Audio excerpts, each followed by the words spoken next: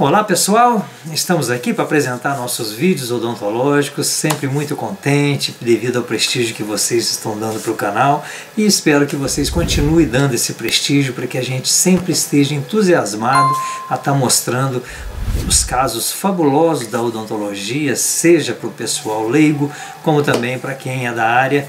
Muito obrigado a vocês todos. E o que eu vou mostrar agora é sobre extração de dente ciso na região superior quando a pessoa não consegue abrir a boca. O caso aqui é esse que está na tela. É, são esses dois dentes cisos superiores, eles estão completamente fora de alinhamento. É, tem que ser retirado porque a pessoa não consegue escovar. Na verdade, o dente ciso é um dente que está em involução é, é um dente que só vem atrapalhando a vida das pessoas ultimamente. Nesse caso dessa pessoa aqui, dessa, dessa senhora, não se consegue colocar o forceps lá atrás com precisão, porque o dente está jogado muito para vestibular. Não é um dente difícil de ser retirado, mas tem que ir com jeito, porque senão traumatiza a pessoa, porque a pessoa está extremamente medrosa no caso, não só ela, como 99% da população tem muito medo do dentista. Então eu vou mostrar para vocês qual que é a técnica utilizada para poder se extrair um dente, porque praticamente a gente retira esse dente no puro tato. A gente não enxerga ele quase que o tempo todo. Vocês vão ver o nível de dificuldade que ele é. Vamos ao vídeo que fica mais interessante do que eu ficar falando.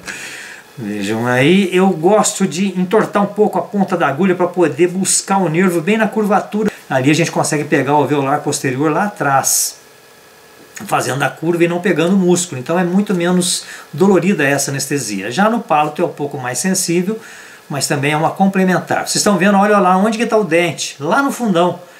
Olha lá, você vê só a parte lingual do dente, que é essa região aqui. E aí, ó, as minhas alavancas, tanto as apicais que eu preparo elas, deixo elas mais afiadas para poder entrar nas ameias, né, que é o espaço entre os dentes. Essa daí é aquelas que a gente chama de bandeirinha, que é a curva. Também preparei elas para poder ficar de tal forma que entre no espaço interproximal dos dentes. E até mesmo as retas normais que acompanham essas curvas, é, também dou uma afiada para poder ter uma penetração melhor. Essa daí, além da, de ter afiada, também fiz um bisel, que também facilita muito na hora de estar tá extraindo. Inclusive foi com ela que tirei um dos dentes. Né? Ali eu estou divulsionando a gengiva com o, o bisturi de órgão e já, vejam vocês, olha como é que ela está com a boca fechada. Eu praticamente estou indo no tato ali, porque eu já coloquei na onde é a, o tal dente, né? Lógico, você tem que ir no dente certo, óbvio. E tá lá, lá no dente ciso, entre o siso e o molar, o segundo molar superior. Olha, na hora que dá um pouquinho mais de força que vocês viram na minha mão, ele já está solto o dente. Então, ele está completamente solto lá atrás, mas não vem porque está um pouquinho grudado na gengiva. Aí a gente dá uma divulsionada naquela gengiva e acabei buscando ele com forceps, mas ele já está completamente solto. Isso é para poder não... Eu peguei ele com força para poder não escapar e ir para garganta, né?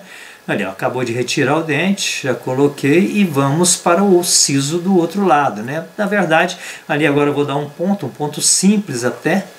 Ela tem uma coagulação boa. E lá está o, o, o ponto dado.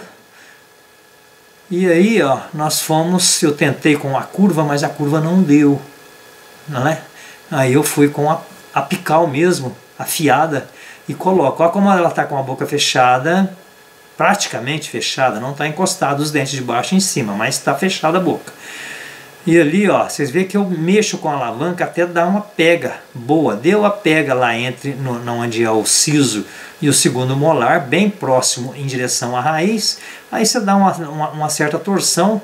Tô com, fui com a alavanca reta, a mais larga, logo depois da, da apical e consegui tirar o dente só na alavanca. Olha, ó, vocês veem que praticamente tu enxerga. Tá tirando no tato mesmo o dente. Eu tinha tirado, depois eu retirei o inferior também.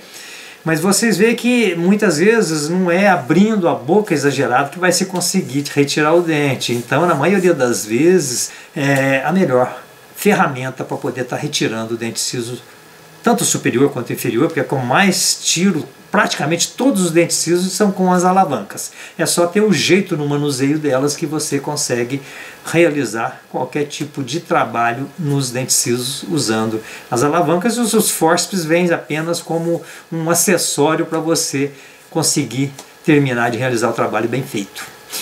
E aí, gostaram? Espero que sim, espero que estejam contribuindo com a nossa odontologia. Um beijo a todos, fiquem com Deus e até o próximo vídeo.